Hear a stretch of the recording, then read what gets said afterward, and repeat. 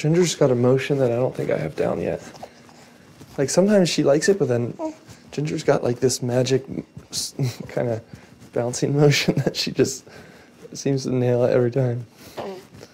We usually start Felicity's bedtime routine two to three hours before we're going to go to bed. That makes our nights later sometimes if she doesn't um, want to fall asleep. You fighting it? Do you not want to go to sleep? You want to keep mom and dad I could have had something. I mean, who knows? Could have ate something. she doesn't seem upset. She just seems like it's time to explore the world.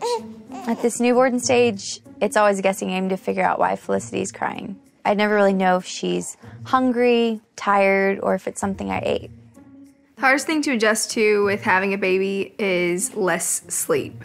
It's just really hard to adjust to having your sleep broken up. You're used to sleeping eight hours through the night. I think you start to feel that pretty fast, and you think, my life is never gonna be the same. Your mom told me when she first came that once you hear her go, ah, then she's really out. And she, you can feel her whole body just relax. Sleep and I, through our years together, have maintained a very close bond. And so Felicity has sort of presented a barrier between myself and sleep.